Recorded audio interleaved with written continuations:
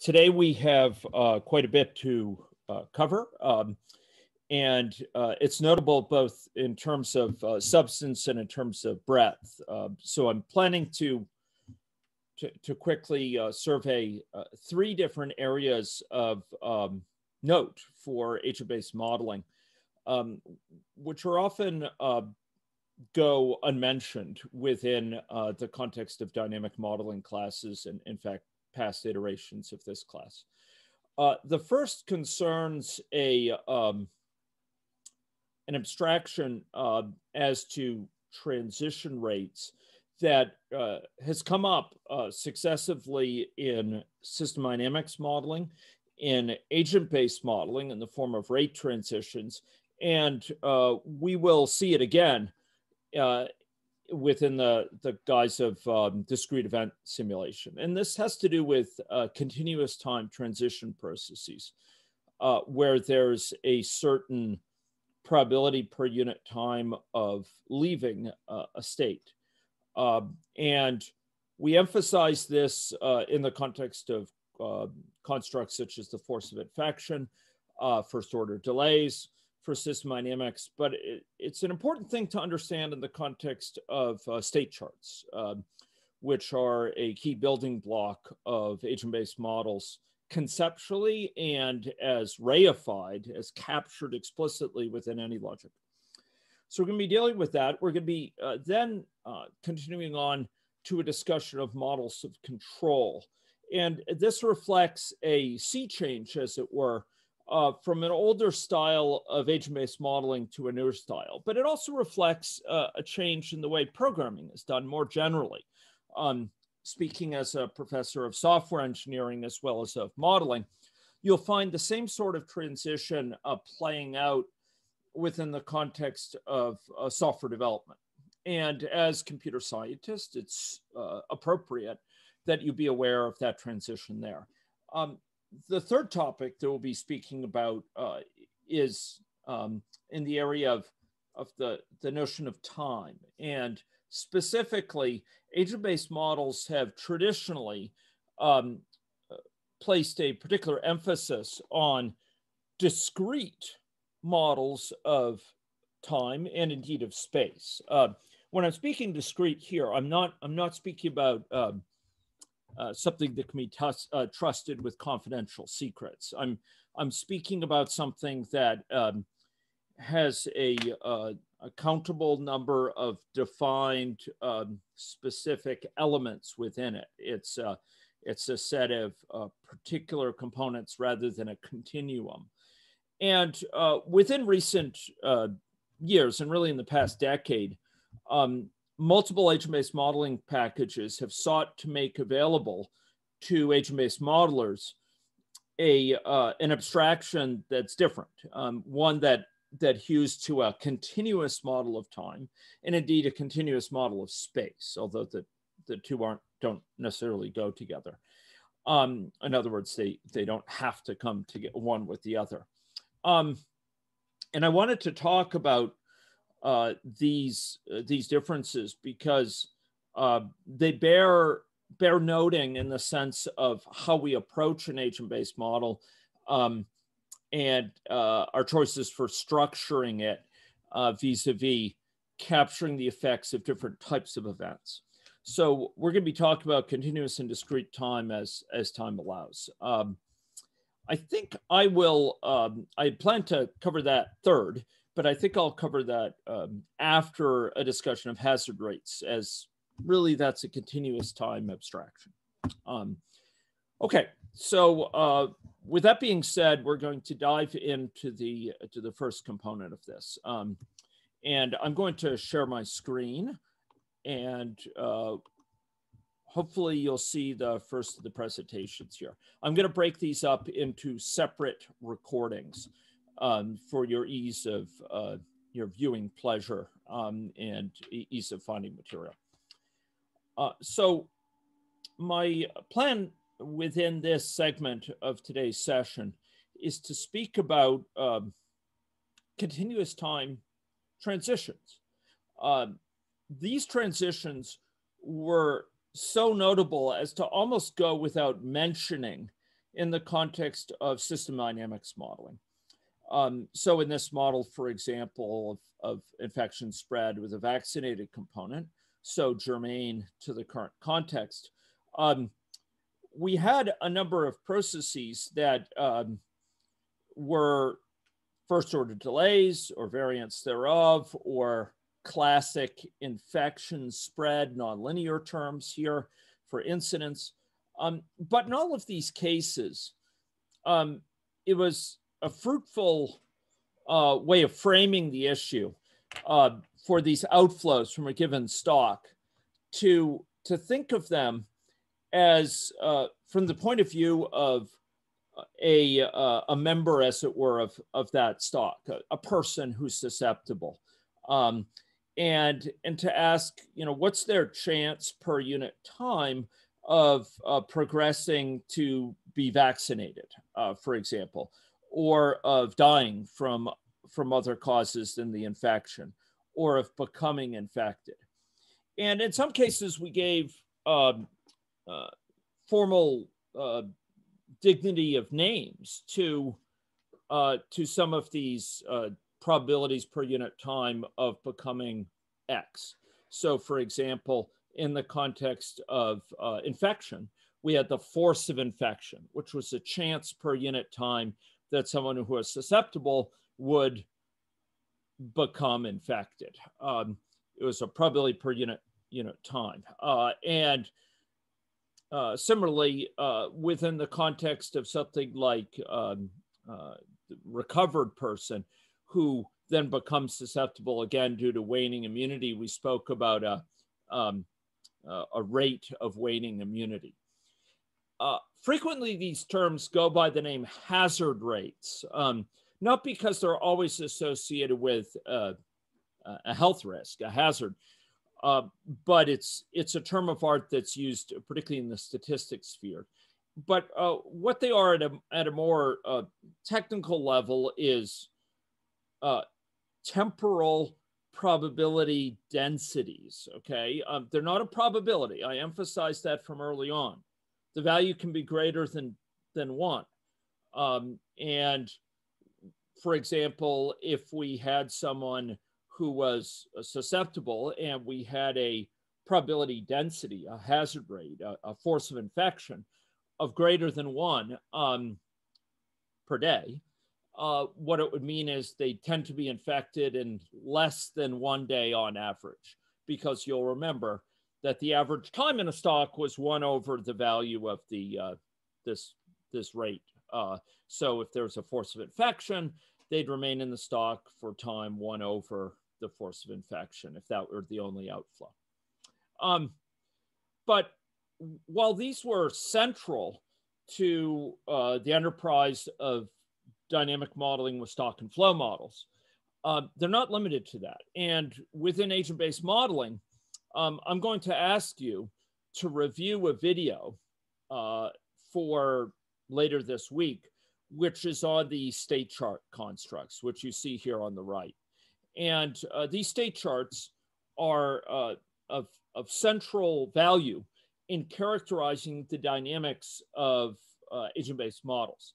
Like stock and flow models, they capture at once three major points of, of um, significance in specifying a model. Number one, the different states which are possible. Number two, the actions that can change those states, in this case indicated with these transitions. And thirdly, the rules under which those actions take place. We saw the same sort of division within, within stock and flow models. We saw arrayed before us here to the left the different possible states someone could be in, the actions that can lead them to transition between states, and uh, implicit in there, but Bill illustrated at a certain level of abstraction was the rules by which those actions are governed. Um, we can see at least the dependencies by which they're governed by seeing, for example, that incidence depends on a force of infection and the number that are susceptible, or that vaccination depended on the number of susceptible and a monthly likelihood of vaccination. Um, so uh, state charts, like stock and flow models, capture at once the, the set of states, the actions that can change those states, and the rules governing those actions. And one of the key types of, of, of rules, one of the key types of rules that governs a, an action associated with a transition is um, denoted by these uh, this symbol, which has a curve that, if you squint, looks a bit like a declining exponential. And uh, this curve is supposed to be indicative of the fact that indeed the residence time in exposed is associated with a exponential decrease over time that is driven by a fixed rate in this transition. You may recall the mathematics of that are such, we saw it in system dynamics model with first order delays, that if you have a, a fixed chance per unit time of leaving a stock, um, the uh, the probability that you remain in that stock uh, after time t decreases is e to the minus alpha t, where alpha is this this rate of transition per unit time, this hazard rate, this probability density. Um, and within state charts, we see that same abstraction, except here it's applying to a particular person, uh, the person who is in the uh, a person who is in the exposed state has dynamics uh, characterized by that, um, that memoryless transition process. Uh, it doesn't care how long you've been in the exposed state, you have that same chance per unit time of leaving. Um, uh, and you see it uh, in spades all around uh, this model for waning of immunity, for people recovering, for people proceeding on from an asymptomatic state, a pre-symptomatic state to a symptomatic state, and exposing others with this internal transition. So all of those are governed by the mathematics associated with hazard rates. And I'd like to dive into that mathematics rate a little bit more. Okay, so uh, I want to build understanding of this, and uh, it will hopefully uh, further cement your appreciation for some of the mathematics associated with first order delays and, and system dynamics. So, so let's imagine that we have a hazard rate, a probability per unit time of, of alpha. Okay, and I'm going to walk you through a set of exercises to help you think through the, the mathematics that emerges to help you appreciate where the whence that mathematics comes. So imagine that we have some unit, some interval of time from time zero to time t. Okay, um, and uh, imagine we have only one chance of we only flip the coin once uh, as to to uh, whether we uh, have transitioned over that time or not. So we have uh, a chance per unit time of, of transitioning of, of alpha. Um, it's per unit time. And so if we need a probability, we have a probability per unit time uh, over time of transitioning over time t, then we're going to have to multiply that by by t to get a probability because alpha is a probability per unit time. So if we multiply alpha times t, we'll get the probability that that we transitioned within that that period of time. And the probability of not transitioning in that time is just one minus that. Either you transition or you don't over time t. You have only one kick at the can, one shot at it. So um, we have this probability of of alpha t. Okay. Um, now, now let's imagine that this time interval uh, is still of length t, but it's broken up into two segments, um, which are mutually exclusive, collectively exhaustive. So there, there's the first segment and there's the second segment. Okay. Um, uh, so we have two chances: a, a chance of of leaving in the first section, chance of leaving in the second section. We have two kicks at the can.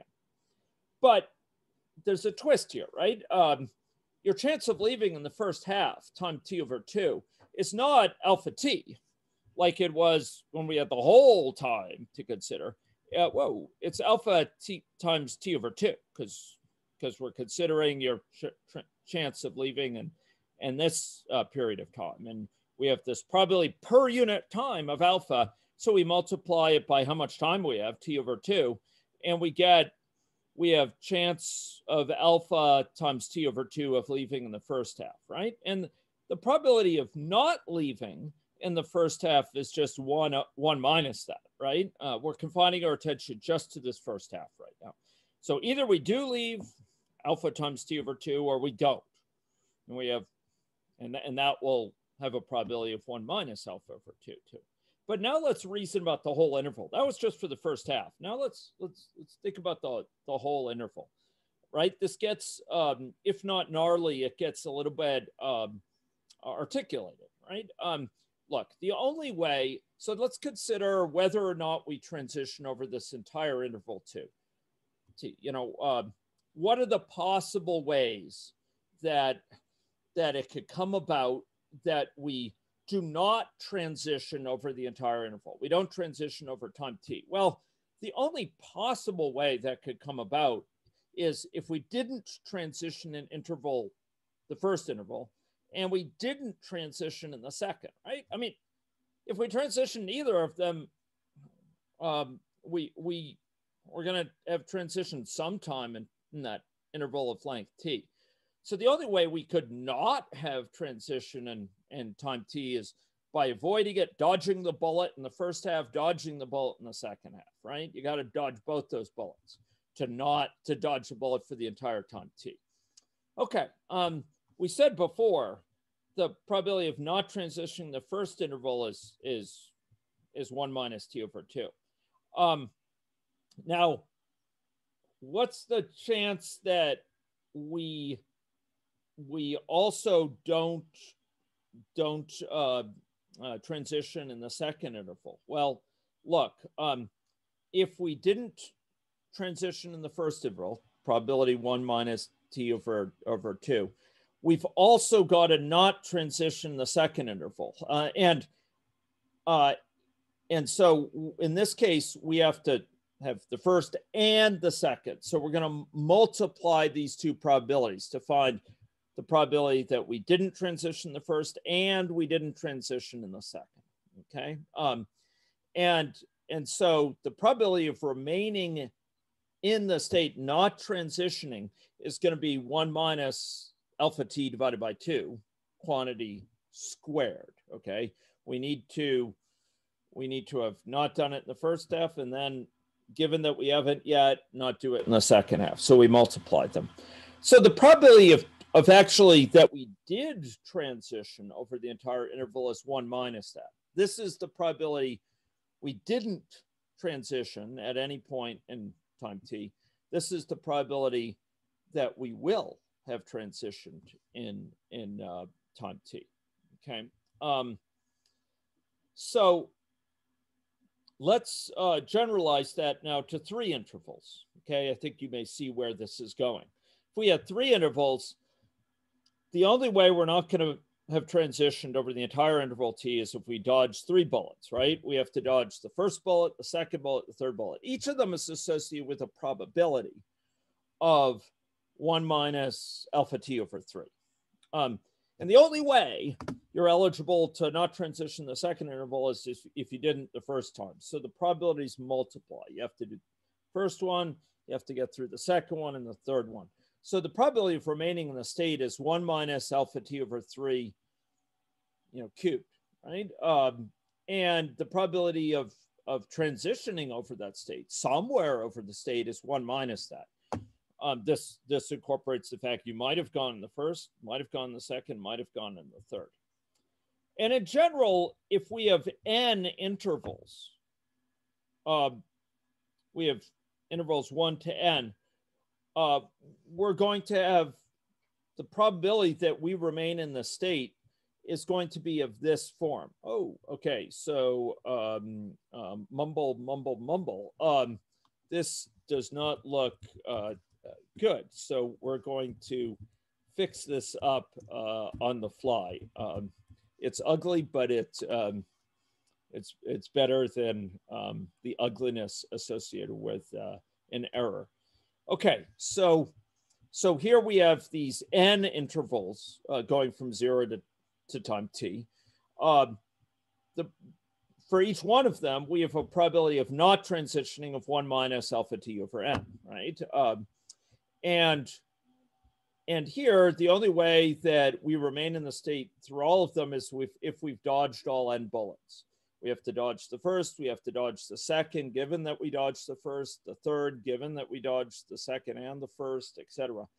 And so the probabilities in, in this case uh, of, of not transitioning multiply, right? Um, it's kind of like uh, if you have a 10% chance of being uh, hit by the bullet in the first, uh, the first time, you have only a 90% chance of avoiding it. And you've got to avoid it the first time, and then you've got to avoid the second time. So you get point, you know, one minus point one is dodging the first time times one minus point one, the second time times one minus point one, the third time. You got to dodge it every every time. So the probability of not of, of transitioning somewhere in the interval is just one minus this. Uh, uh, if, if you transition any one of those, you you won't uh, you, you will have uh, transitioned. So the probability of transitioning over the entire interval is is one minus this. Now here's the thing: if we have n steps, uh, the error is, has crept in. It's uh, it's pernicious. Okay. Um, uh, so here, if we think about n as n grows, and as we say, n grows towards infinity, it becomes really, really large. It turns out that this ends up, this, this quantity here ends up approaching exactly the definition of the exponential with, uh, with the, um, the exponent being minus alpha t, okay? Uh, and you can actually see this if you think about its Taylor series expansion. I know Jeff has posted some wonderful support resources to understand that. But if you were to go, you know, uh, uh, do this for two n equals two and do it for n equals three and do it for n equals four and sort of imagine how it it gets larger as as n grows larger and larger you'll find it it ends up approaching the the taylor series expansion of e to the minus alpha t um, which is one minus alpha t plus alpha t squared quantity over two factorial uh, minus alpha t cubed uh, over 3 factorial, et cetera. And, and that's exactly what this approach is. And so we get a, uh, a pattern out here that our chance of, of staying within, uh, uh, within the state without transitioning and any of these time steps, it goes down as e to the minus uh, alpha t. Um, and the probability of transitioning sometime in there is one minus it. Okay. Um, it's notable that the smaller the n, or you know, the, the smaller the value is, the number of n. If we go from one interval, uh, one interval to two, to three, uh, successively, uh, it's notable that we we have to dodge it during each of these uh, time periods. But for each time period, we have less and less of a probability that we will, in fact, be hit by the bullet, right? Because it's a smaller and smaller interval of time. Um, uh, there's less and less chance we will have transitioned during that particular interval, but we have more intervals to consider.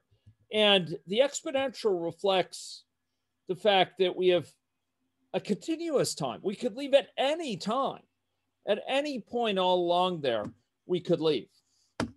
And uh, for any one small, small, small interval, the chance of leaving is very small, but we have a huge number of those intervals, and we could leave at any point.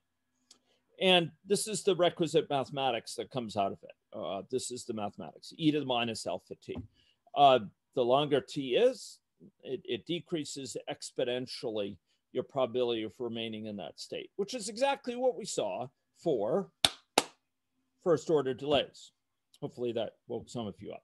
Um, okay, so uh, you know, let's let's think about this comparison between a hazard rate, as we've seen here. This is what alpha is, which expresses this continuous chance born all through the interval of leaving. At any one small interval, you always have this chance of leaving versus a transition probability, just an overall blanket probability. Did you leave in that interval or not?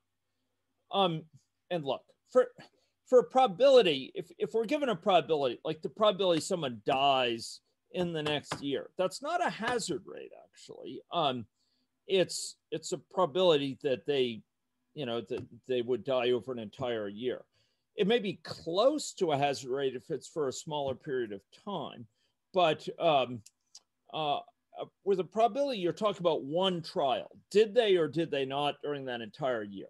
Somewhere in that entire year. For a hazard rate, you're talking about continuous trials. Each of these little time intervals, you have some slight kick at the can for transitioning. It's small, but you've got a huge number of these intervals, and you can go at any any any point there. Um, uh, I prefer talking about kicks at the can rather than talking about dodging bullets. Um, uh, maybe these days we should talk about dodging infection, right? Uh, uh, okay, so uh, suppose we have a probability p of having transitioned by time t. This is very common. Those working on projects may find data like this. You know, the uh, the probability that someone died in in a year, or the probability that uh, that there was a uh, you know a uh, release of some uh, uh, of some substance within a, a, period of time, or the probability that a visitor would arrive on a per day basis. This is a probability of having transitioned over some period of time.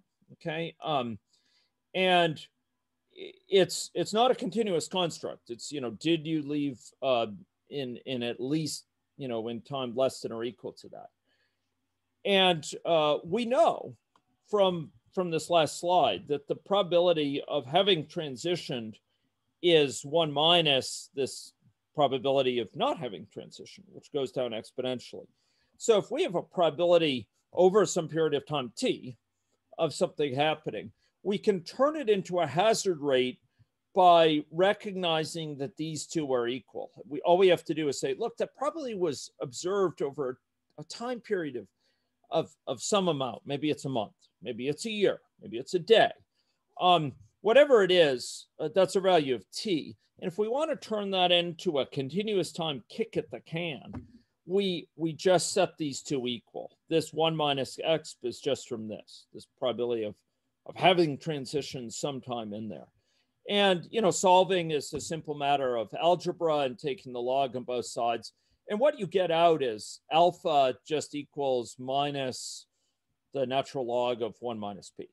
Okay. Um, so if you have a probability p, you can turn it into a continuous time. You have a probability p for some interval of time t. You can turn it into a continuous time uh, hazard rate through um, through using this formula. And uh, I'm going to just emphasize that that is alpha, right? Um, that is alpha there.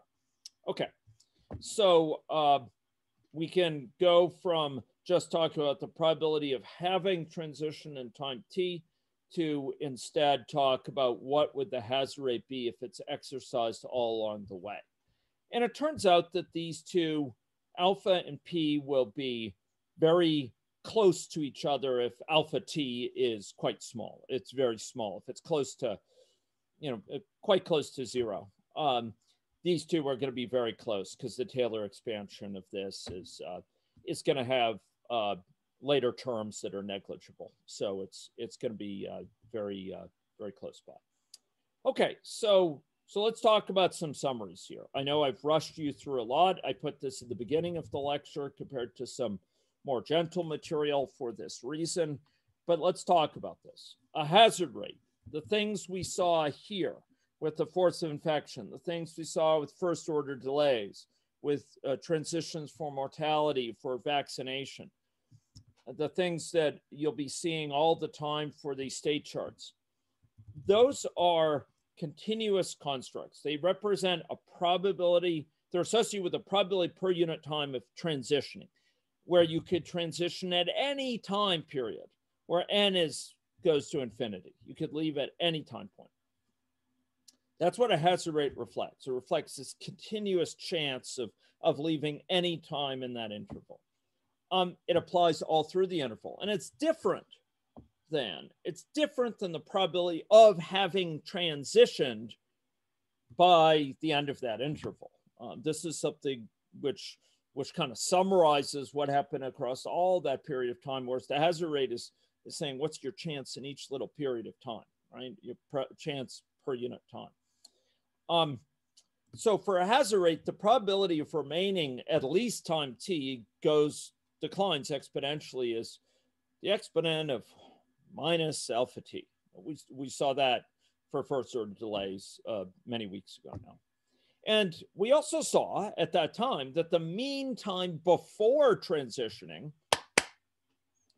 is one over alpha. It's one over that. It's the reciprocal of that. And I argued through dimensional considerations that it made sense. And I showed how you could define a first order transition and where the outflow here is, you know, one over a mean time infected or so infective divided by mean time infective or infectives times some probability per unit time of leaving, some alpha, right? Um, one is just one over the other. Um, it has to be that way. Uh, now, it is worth noting that, look, um, and this is different from a probability. Look, if you have a probability of leaving in time uh, per per day of, let's say, 0.5, you know, a, coin's flip chance of leaving your home per day. Your chance of leaving, your probability, so that's a probability of, of 0.5 for every day. I wish I had a coin here. Um, but if you ask then, that's per day. How if you ask, what's your chance of leaving per week? You cannot simply uh, multiply that by seven. Even though a week is seven times as long, um, your probability of leaving per week is most certainly not seven times 0.5. That wouldn't make sense. That's not a probability. It's greater than one, right? It's 3.5. It doesn't compute. You can't take a probability and just multiply it uh, to scale up the interval to go from probability per day to probability per week. It doesn't work that way. With a hazard rate, you can. You can, ladies and gentlemen. And it's a thing of beauty.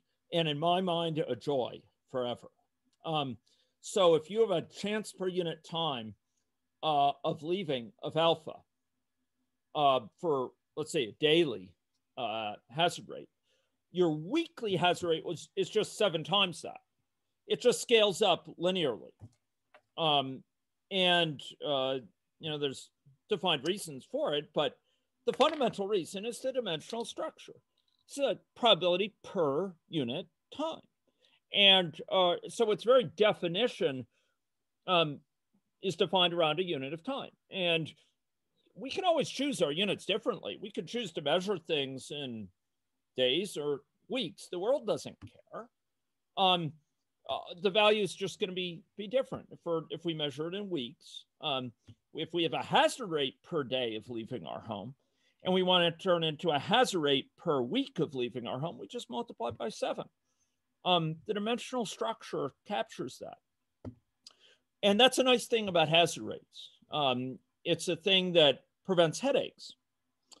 Uh, so remember that to avoid headaches on your final exam. Um, so if we have a probability of, of having transitioned over some period of time, uh, t, uh, we can turn it into a hazard rate and get this tremendous flexibility. Uh, for the common case, it's, it's just going to where, where we have a unit interval of time, which is very common for what you read in terms of uh, data, for example. This hazard is, well, it's just divided by one. Um, so t is one. And so we just get minus the natural log of, of one minus p. Okay, so bear this in mind about hazard rates. You might have thought that a hazard rate is kind of an impoverished probability, but it's not like that at all. It's, it's a continuous time expression of your chance per leaving. And uh, it reflects the fact that you could leave at any point during the period of time. it can be close to the prob associated probability for unit time, but only if alpha t, the, the time period over which we're, we're considering it, is very, very small.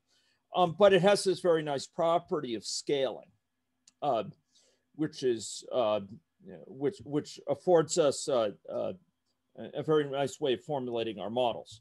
So when it comes to rate transitions, well, of a certain chance per unit time, say chance per day, of leaving a state uh, for an agent-based model. You'll know what this reflects. It's the same mathematics that was reflected in system dynamics and some of the same mathematics that uh, very similar to the mathematics we'll see in some areas of discrete event simulation. Okay. Um, hazard rates, ladies and gentlemen, uh, and the ways of converting from probabilities to them. First time I've given this lecture, but I hope it's helpful in getting your hands around a slip, getting your, your arms around a slippery concept.